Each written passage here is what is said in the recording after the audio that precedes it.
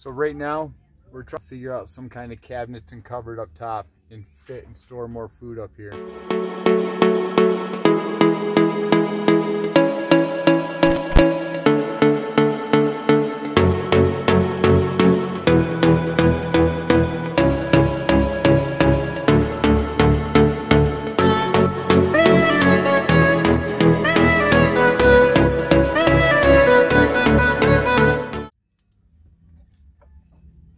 After doing some research, I found a simple shelf idea that looks perfect.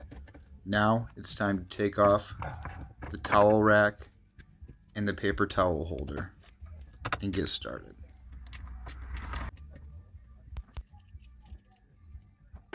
We can go right before it. Yeah, I was just trying to get this angle. If you already went too far, Nope, I haven't let's done do nothing. that. And we can go right to here instead.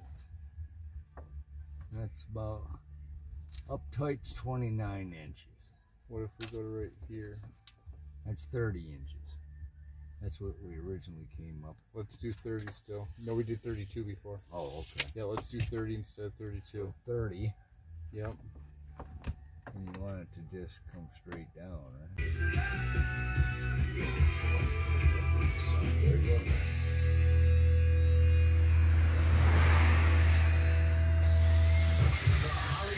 Okay, so in this little kitchen upgrade, we have these two as the side supports with the L-shaped brackets on them. This will be the bottom, then this is going to be our backing. So these are just some pieces of uh, plastic actually that we found. It's a lot lighter. So, and it has that nice little texture on top for the food. Easy to clean. Now we're putting it together. All right, so this is where we're at. We've got the shelving unit. We have the bungee right up here that's going to hold all of our stuff in. I do still have maybe an area that I can put kind of uh, curtain over top if I want to privacy for it, I guess. But let's load it out and see what it looks like.